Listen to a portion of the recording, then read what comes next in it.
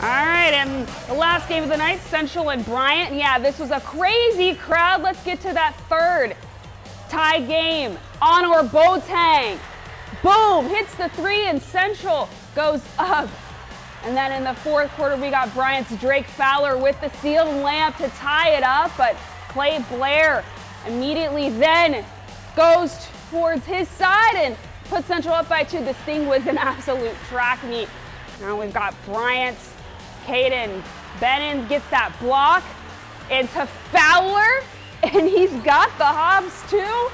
Another layup, and it's tied again at 48. Five minutes left there. But then there's Central's Luke Moore with the three to put Central up with about a minute and a half, 56-51. And the Central Tigers go on to win this one, 63 to 55. So both Central girls and boys teams sweep those state titles.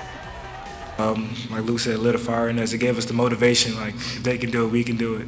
And this whole family that we built around there, and the community is there to watch us and just make history. So being the first, you know, central class to win both girls and boys state title in the same year is just a great thing to be a part of.